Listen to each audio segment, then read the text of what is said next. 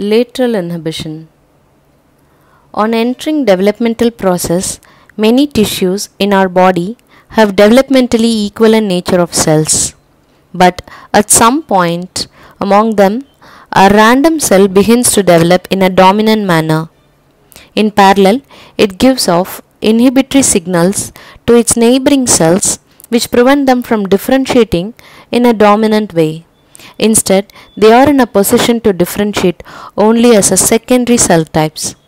And this process as a whole called as a lateral inhibition which is executed by notch signaling pathway, one of the types of juxtacrine signaling.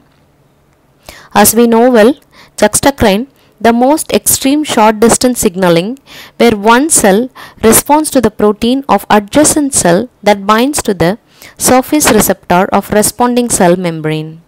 Now here in lateral inhibition, the delta protein from a dominant cell membrane binds to the notch receptor protein of its neighboring cells causing a conformational change in notch protein and a part of it gets cleaved.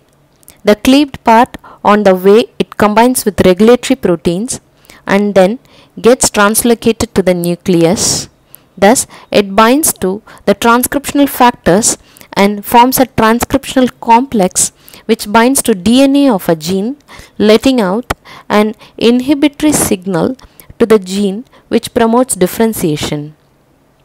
The nervous tissue during its development undergoes this lateral inhibition where the dominant cells differentiate into a mature neuron which on sending inhibitory signals allowing its neighboring cells to develop only as a secondary phenotype called as glial cells.